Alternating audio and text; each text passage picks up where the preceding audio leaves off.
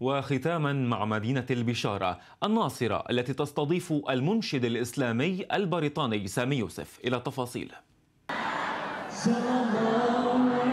على نغمات المنشد الديني المشهور سامي يوسف تمايل المئات بل الآلاف من أبناء مدينة البشارة الناصرة وضواحيها.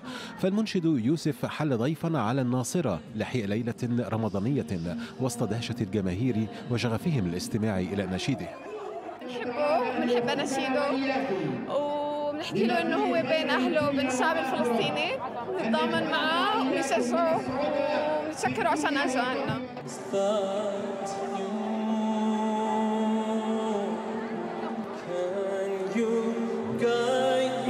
نرحب فيه ونشجعه ونتمنى له الخير بشهر رمضان. وكل الجمهور الموجود مبسوط فيه والكل يعني بحبه وإحنا جايين عشانه.